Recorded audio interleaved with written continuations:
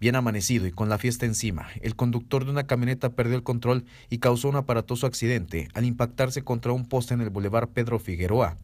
Pero esto no fue suficiente, ya que para evadir su responsabilidad se brincó a una vivienda de donde fue sacado por las autoridades, junto con los habitantes del domicilio, quienes negaron conocer al individuo.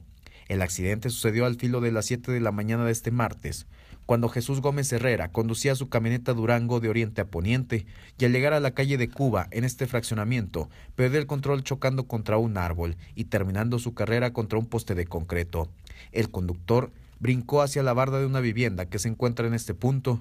En ese momento llegaron las autoridades e intentaron sacarlo, pero él se negaba a salir, por lo que los propietarios de la vivienda dieron permiso a los policías de sacarlo de esta misma. Así procedieron a su detención para turnarlo ante el Ministerio Público.